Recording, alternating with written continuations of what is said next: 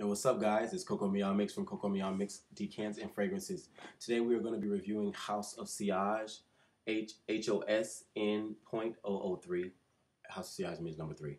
Now, there are a lot of fragrances from the House of Sillage men's collection that I do like. Two of them particularly I won't name just because this video is about number three. But um, I tried this simply because I really, really liked the blue bottle. I thought it was going to be sporty, and in which it is, while it is sporty, um, I find that I really do not care for this fragrance like that. I, am not really a huge fan of it. It's aromatic and marine and salty. I already do not like salt in fragrances, as you guys know that from my other videos. And this is one of those times where it just doesn't cut it for me. The marineness and the saltiness, the aromaticness I can deal with. And plus, there is uh, ambergris in here, which I absolutely adore ambergris. But this, it, the, the, how it, because it's, it's soft, spicy, and marine, and it just does not. I don't fancy this fragrance. I, I just don't. Um, does it last a long time? Absolutely, and that's one other thing that I hated because I sprayed it on and it lasts so goddamn long that I it, it wouldn't go away.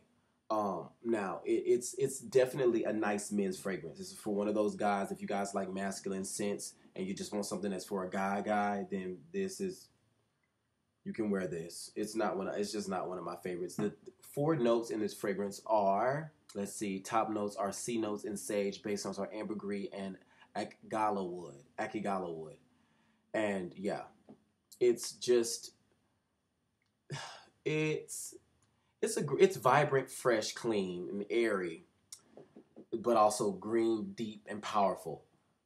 Um, uh, I just didn't like it. I simply did not like the House of Sillage men's number three, and I wish I could have because these are amazing. I love it. I just I can do this all day. But this is not what this is about. This fragrance is about a review on how this fragrance smells. I personally do not like it, although you can wear this nighttime and day. It gives you great long lasting sillage. It is it is it projects as with all the fragrances I'm going to review. I really don't really wear anything that really isn't going to project like that. And if I do, it's a really good scent. It's got to be a damn good cologne. Um, this fragrance definitely project. If you like that spicy marine herbal aromatic flair that this fragrance brings, then you should definitely try this. Um, I'm actually going to decant this entire bottle. So if you're interested in decanting this, please let me know. You can always follow me and DM me on Coco Mix at Instagram. That's Coco Mix with two X's at the end.